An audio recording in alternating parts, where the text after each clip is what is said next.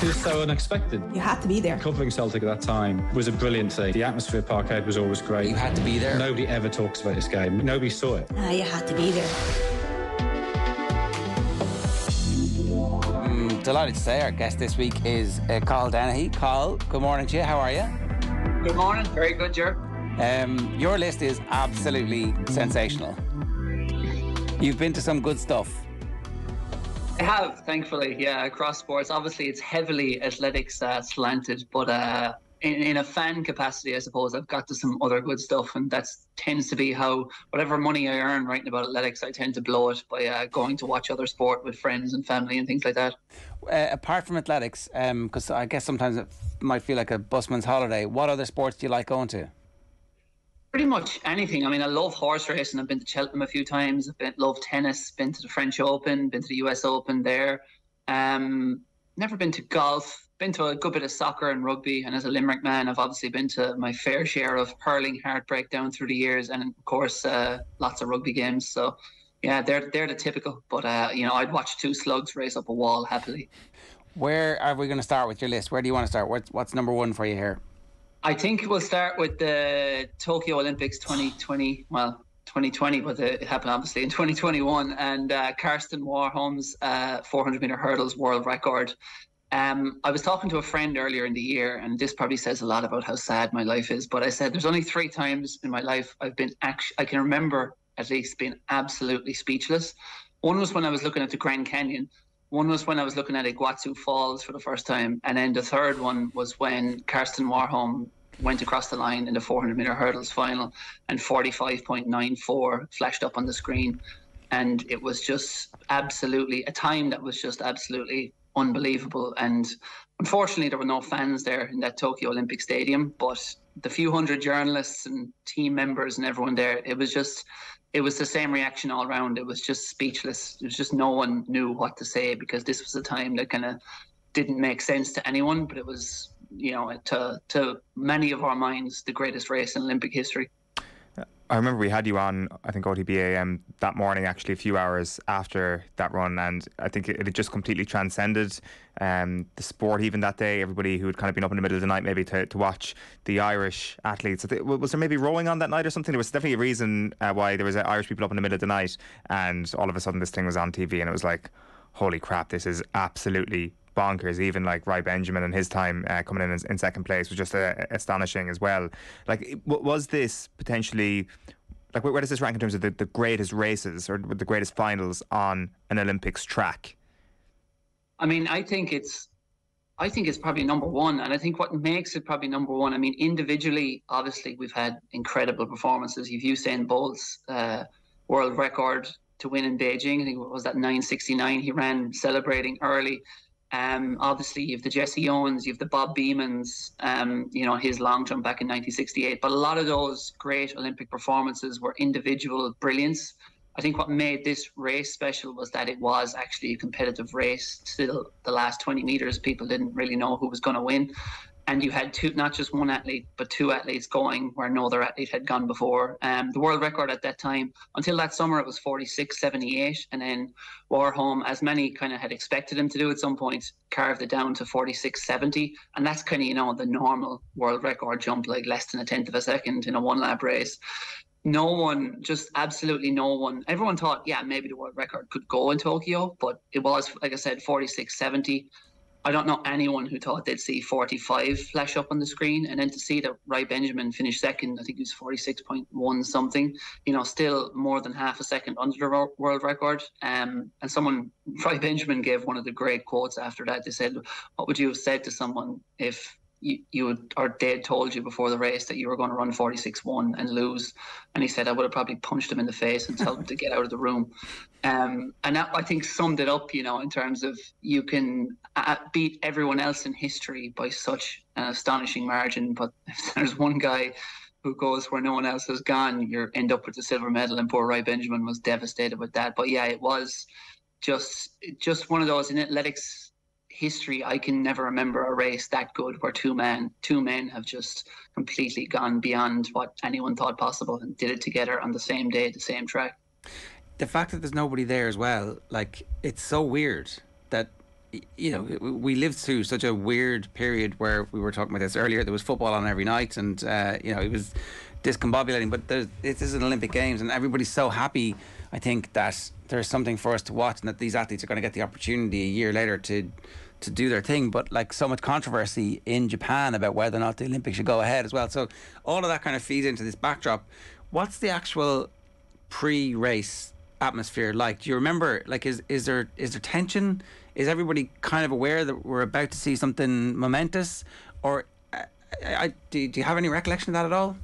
I kind of I could I can just remember from the journalist point of view just being exhausted and kind of almost going there knowing right this could be big but kind of thinking oh I think it was like it was probably around the Wednesday the second week obviously the Olympics so you're talking maybe 12 13 days into the games like a 20 day game. So kind of everyone fans spectators whatever was kind of like suffering a bit of Olympics fatigue at that point. And I remember it was a morning session um, so obviously you're still shaking off the grogginess and you're getting to the stadium and like, oh, and there wasn't really anything big else on that morning. So that was kind of the only show in town. But I just remember, yeah, you know, nothing at the Olympics kind of felt like an Olympics because you're used to that atmosphere, you're used to that kind of rumble and the crackle of anticipation going around the stadium as a, many of the other events I suppose I'll be talking about showed. But that morning it was just eerie silence, but obviously you knew this was the big show. Um, and then afterwards, I remember like, you know, even though there were some people cheering, even some of the journalists were probably not being journalists and cheering along as the race happened. But then afterwards, just that complete disbelief going around the stadium with the few hundred who were there. And I remember my friend Phelim Kelly, who was an Irish team coach, was over in the back straight in the athletes section watching and he just he, Warholm was obviously doing his those weird laps of honor where with his flag where there was no one actually there to salute, but he was just going down the back straight in silence, you know, waving at the handful of people. And Phelim just ran down to the edge and he just shouted at Warholm. He's like, "Man, that is the best thing I've ever seen in my life." And Warholm just kind of smiled at him and said, "Well, it's the best thing I've ever done in my life." Um, so it was funny to, to get those little interactions among the few. And I think really as a journalist, it was one of those moments where you're like you know, there's tens of thousands, hundreds of thousands of people, millions perhaps even around the world watching this who would love to have said they were there to witness this. The athletics nerds like myself, especially, um, and to kind of have been there, you really did walk away going, "Wow, I was so so lucky to have seen that in the flesh." Mm. I think he did a, an interview on on um, with, with, David Gillick actually straight away after. Like, I'm, I'm not, I don't think I'm mistaken on that one. So, was it like more of an intimate? Olympic Games than, than ever before, like with, with regards to access, even though that doesn't make any sense because there was still the world media there. But did you find that you got more insights than you usually would have got at an Olympic Games last year in Tokyo? For sure, yeah. Um, like I went to, I remember going to gymnastics with one of my friends, Jared O'Donnell, who was again working with the Irish team, and we went to the women's all-round gymnastics final, and again, no crowds there. A good few team members obviously showing up, but obviously you'd normally have several thousand screaming fans, and we just sat down towards like the VIP section, like probably two rows from the front, and we were kind of laughing at each other, going like, you know, we know relatively nothing about gymnastics, and we are saying there's there's gymnastics fans around the world now who'd probably pay ten grand to be in these seats, like front row, to watch Simone Biles take on the Russians and all that, like you know, the very best of the best of all time. Um, and then it was fascinating just hearing the cheers. I think things you couldn't normally hear when you're even there in a journalist capacity, even if you've really good seats. And I remember going to the basketball. I watched USA France in the basketball, and that really stood out in terms of a different experience because I'd been to maybe five or six NBA games when I'd been over in the states, and obviously, even when you get down in good seats, you just the noise is too much that you can't really hear the team talking to each other. But I remember being three rows from the front, and there'd been about 50 people in the arena when I was watching USA play France. This was in the this wasn't the final. More people obviously went to the final, but in the kind of group stages of the Olympic tournament, and just hearing all the different calls, how much trash the players were talking to each other, how much of a, a pain in the neck Draymond Green was, um, to everyone else, just like he'd swat a ball away, then he'd just be like, "Get that shit out of here," and um, just things like that. Things you probably you can see they're talking trash on TV, but then when you hear it up front, and then I suppose the physicality of it as well, what stood out to me at the basketball in terms of just the, the absolute whacks and the, the crunch of the players' bodies as they would hit the ground after you know swatting the ball away or something like that. Um, so yeah, it was a, it was a, actually like while obviously 99% of it was worse because you love that atmosphere, there was that little bits where you're like, oh, I've never heard, you know, Steve Kerr kind of make these calls before, and I never heard that as the shot clock is counting down, everyone on the bench is is counting, so the player is aware of it, which is something, despite watching basketball for years, I'd never realised. And so there was a lot of kind of, I suppose, been athletics my whole life. There wasn't too much in that that was new to me, but watching the other sports, they're the can- lack of crowds, They're counting out loud. You can you can hear them counting out loud, can you? Yeah, yeah, I didn't yeah. know that As either. the, as, Alright. as the shot clock gets down to like five, all the bench and the coach were just like five, four, three. Right. So the player is aware of it, which is something I didn't know before. Right. Okay. Uh, Leo Messi's next. Um, wh- what what have you picked for Leo Messi? This is against Deportivo Alaves. Yeah, it's a random one. It's certainly not not one that'll make the top fifty probably highlights of Leo Messi's career. But I suppose it is you had to be there, and this is the one time in my life that I was there for Leo Messi. Um, I suppose I'll tell a bit of the story behind this. I went to Barcelona in September 2019 on a holiday with a friend, and we were just there. And this, I think the season hadn't quite started. Maybe it was August, but we said we must come back to this great city and go to a game. And we said so I kind of rounded up basically a group of lads in the WhatsApp group over the couple of months that followed and said, lads, come on, we need to go see Messi. You know, he's into his 30s. Who, who knows how much longer we're going to be able to see him? And he said, we have to tick this box. So we called it Project Messi. So five of us went over for a weekend just before Christmas, stayed in a great hostel and uh, went on the lash over in Barcelona. But we went to watch deeply hungover. We went to watch Barcelona play Deportivo Alaves in just a standard La Liga game. Sunday afternoon.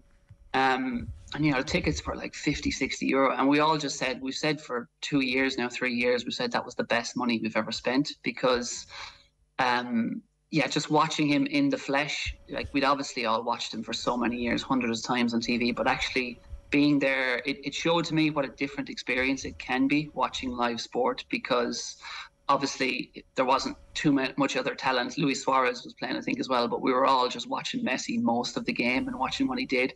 And what stood out to me was just how lazy he was on the pitch. You know, he he stood still when other players were walking. He walked when other players were jogging, and he jogged when other players were sprinting.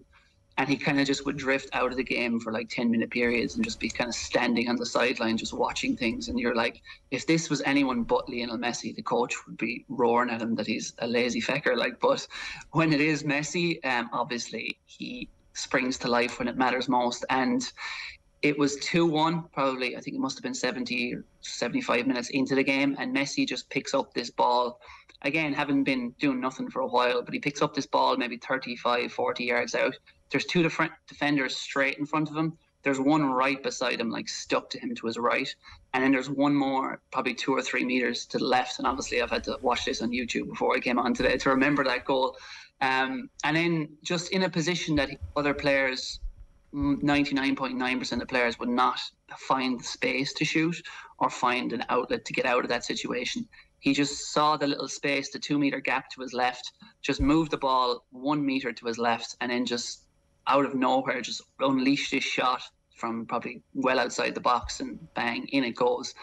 And I remember just being up in the stands with the lads, and we were like, wow, you know, in terms of it wasn't an especially great game for Messi until that point, but then it was like 2 1 to 3 1. And all of us just, just went, yeah, that was that was worth the the trek over here. And that was that that illustrated perfectly, I suppose, the greatness of Lionel Messi, where it was like something a player no one else could do, and just one moment of magic made it all worthwhile. I think people are probably still going to make the trip to Paris this year to see him in a run of the mill game. You just want to be guaranteed that he's going to play because, as you say, the opportunities for this, for people now to go and say, I saw Leo Messi play, are getting smaller and smaller. They're, telescoping pretty quickly. Um, I've just watched the goal on YouTube as well. It's kind of, um, it is one of those. Like Messi's greatness, I think was the, the thing that inspired everybody was when he was able to dribble past five or six players from inside his own, and it was like, wow, nobody can do this. But they're the goals that helped him rack up 30, 35, 40, 45 goals a season where it's like he's shooting and you don't expect him to shoot and all of a sudden the ball's past the keeper like that. So that's a very good one. Um, Usain Bolt, I, I, was there a list in your head where Usain Bolt wasn't going to be on the list? no, it had to be. Um, yeah, I'd seen Bolt. When had I seen him? I missed his obviously greatest era, I suppose, 20, 2009, 2010, or 2008, 2009 Olympics and World Championships when he was at his absolute peak. And then I started kind of getting into the journalism game around kind of 2013, 2012. And um, so I was there for his World championships in 2013, 2015, 2017, and obviously I'd seen him at some other events as well in the intervening years and stuff. Um, and I think I picked out this one because this was probably one of the best sporting events I'd been to. Um, now, obviously, everyone in the career of will remember the Beijing Olympics and the Berlin World Championships, the world records, the, the when he was at his peak. But if there is a race to me that sums up the greatness of Usain Bolt, it's 2015 in Beijing, and you know it's the classic cliche of uh, the definition of a good team is winning when they're not at their best. And this was Bolt winning when he wasn't at his best. He was in shocking form all year. He'd been riddled with injuries. And Justin Gatlin had come back and he was like 34 years old, I think 33, 34 at the time, and was just running unbelievably all year. Um, he was running like 974 and Bolt looked like he was struggling to break, you know, 995. But he was kind of slowly creeping forward with his form. And obviously everyone knew Bolt, if he gets back, you know, he's a freak. He, he might just pull this off. But going into that World Championships, I mean, everyone thought this is Gatlin's year. Surely this is Gatlin's year. The form he's in, the form Bolt is in. And Gatlin dominated the heats, absolutely crushed the semi final, easing up. But I remember a friend had said to me who works in athletics and, and athletes manager from the Netherlands, he'd said to me, he was like, in this final in Beijing, he was like, Justin Gatlin is going to experience something he's never experienced all year. And that's just the idea and the feeling of Usain Bolt running him down. Um, and obviously, tightness is the biggest enemy for a sprinter. You know, you run your fa- fastest when you're relaxed. And all year, Gatlin had been relaxed and killing it basically. But then, for the first time all year, this was the first time he met Usain Bolt. He probably psychologically knew, even if I'm in front by two meters at 50 meters, this guy is coming. And it happened textbook like that. Gatlin got out. He was running his perfect race up to 50 meters, but Bolt had some, was just producing not his A grade effort. It was a B level race for Usain Bolt. He ran 979, you know, which is obviously not that quick for a guy who's run 9.5. But 50 meters on, there came Usain Bolt just creeping towards Gatlin. And what it led to was Gatlin tightening up. And if you watch the race from like 20 meters out, Gatlin maybe has half a meter at that point. All he has to do is maintain his form, stay upright, and time his dip for the finish. But what happens? He's terrified by that thought of Usain Bolt coming at him, which he was, and he starts straining, leaning forward to the line, and that completely kills his momentum. And then once they get to the finish, it's 9.79 for Bolt, and then one hundredth of a second he beat Gatlin by.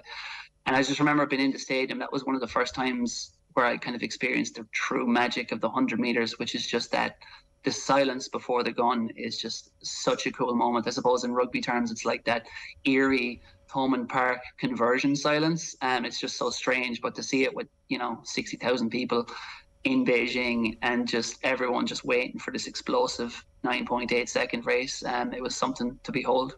Did the hundred come before the two hundred? Because they obviously they go up against each other in both those races uh, in uh, that championships.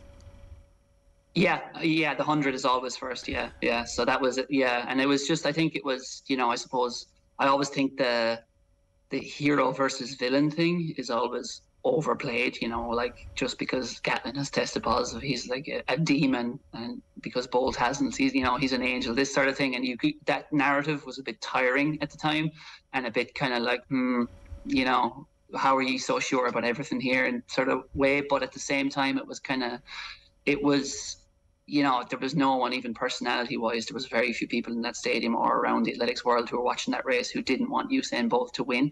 Um, and the fact he did it against such ridiculously stacked odds, he was clearly not in as good a shape as Justin Gatlin, but he, he found a way to win when not at his best, which I suppose is the which made him the greatest of all time. Okay, so uh, you you made a reference to the heartbreak years that uh, being a Limerick man has um, inflicted on you for such a long period, and you know we'd probably be having not going to get a crack out of that if you were say a Mayo football fan right now. But it turns out things turned, um, and uh, you know no one has any sympathy for those heartbreak years that you suffered anymore because you actually are a fan of one of the greatest teams of all time. It turns out, but we didn't know that at the time, and I think their breakthrough win is your is your next on the list. Is that right? That's right, 2018 All Ireland win, and um, I suppose we're picking out individual moments of brilliance as well here. And I think what stands out to me with this game is that you know, you think of most All Irelands, and everyone kind of thinks of a score like a goal, a point, something like that. But I think what stands out to me anyway, and I'm sure a lot of Limerick people, was not any particular score. Obviously, it, you know, there were great scores in that game, but what stood out to me was the catch. You know, it was Tom Condon's catch. I think it was seven. There was a lot of injury time. I think it was maybe 77, 78 minutes into the game. And Limerick are one point ahead, and Joe Canning gets a free, you know, what was it, maybe 80 yards plus from goal. It was way out. It was one of those kind of 50 50 frees. Is he going to make this or not to tie the game?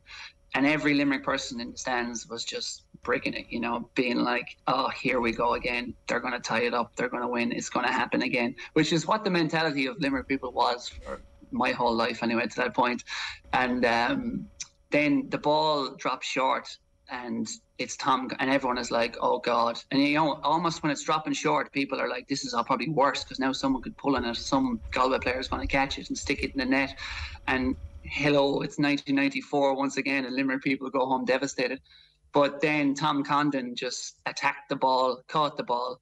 A couple of players around him just burst through them, ripped out of the fence, and I think he got a hand pass off to someone, and then the ball was cleared, and then bang, ref blows it up, and Limerick go wild. And I think the story of that, yeah, and that's that's my abiding memory of that game, and just the relief washing around that stadium, and then the cranberries blaring out around Croke Park. Um, and to to be Tom Condon, you know, I sat down with him about, or I talked to him on the phone. It was for an interview, maybe a month later. Um, and you know, he came from Knockaderry, a village of like 1,500 people. They'd never won an All Ireland before. He was the most unlikely hero, I suppose, from Limerick that you could pick out. He'd been sent off. Limerick had one blot that year. They were hammered by Clare uh, during the Munster Championship. Tom Condon had been sent off by that. And Tom Condon spoke about that red card and how his teammates all started calling him Zinedine Zidane after that um, for the year. But he actually kind of, you know, it was fun, obviously, but he obviously kind of took that red card to heart. But he kind of thought John Kiely's not going to give me another chance here. I've kind of blown it for him in terms of my temperament and things like that. And then I think it was Richie English got injured in well into well beyond the 70th minute um, in that game, and then off the bench comes Tom Condon. Didn't really do much in the six minutes between that, but then what a moment to step up and to become like the most unlikely hero for for Limerick's historic win. And I do think that kind of, you know, if that point went over or if some other player had caught it and stuck it in the net, I think we could be looking at it as great as this Limerick team are. I think the current generation might have been scared the way so many Limerick people and players were by that 94 loss to Offaly. Yeah, Cathal, that's great stuff. Last one here is the sub two hour marathon in Vienna in 2019. Yeah, I presume you were there for work.